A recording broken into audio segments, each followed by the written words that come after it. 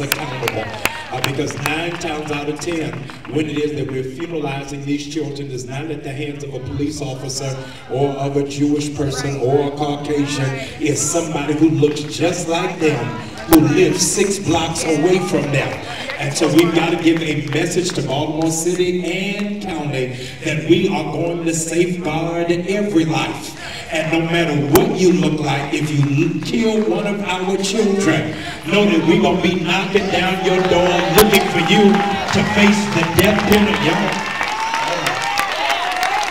If going to be mad, then our mad, our anger has got to be equitable all the way across. We cannot only feel upset when it's from somebody from a different community. You ought to be outraged. Every time a child is killed over tennis shoes, bumping into somebody, these fake gangs running through Baltimore, we got to stand up and raise up our churches, our pastors, and our black men to take our corners back, not in a crisis, but to restore a sense of community and a sense of neighborhood. Family, let's not just come together when there's a murder. Let's come together for PTA.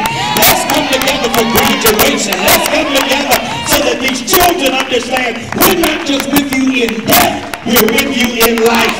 And if you believe that you are the clap like this to your children, like these are your grandchildren, like this is the future of our city. This is what is at stake for us. You may be seated.